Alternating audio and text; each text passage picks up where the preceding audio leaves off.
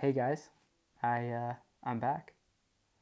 So last time you guys saw me was like two years ago. I was in the woods in California. I looked super homeless, and uh, I was doing a, a walk around of my my GTI, um, which I've sold. Unfortunately, I sold the car. Uh, I'm in an SUV now. Maybe I'll maybe I'll make a video about that later. Just as a life update, since then, um, I'm now Utah based. I used to be in Idaho.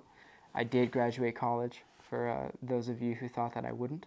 And I started doing this. Uh, I'm an outdoor product photographer and a filmmaker now. Um, I have a really good time with it. I enjoy it a lot. My, my passions have brought me to some pretty amazing places, and uh, it's something that I felt like maybe I could share with, uh, with everybody else.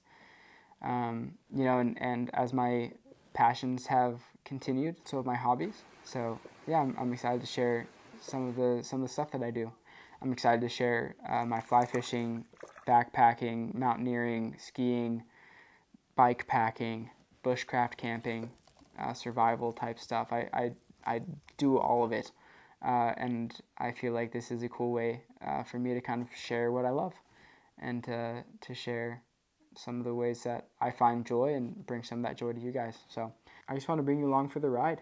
Um, the first few videos I post are probably just going to be um, sort of gear reviews and, and going through some of the packs that I've used in the last little bit. And then I'm sure as time goes on, I'll get into some bike packing, some fly fishing trips. If you're interested in some of the, the camera work that I do, if you if that's something that you find interesting, let me know and, and I can post a couple of videos about that. But I'm just here to uh, to make some cool content that you guys are going to enjoy and and uh, that's going to be a little more uh, a little more low key than, than what I've been used to lately. So yeah, it's uh, it's good to be back.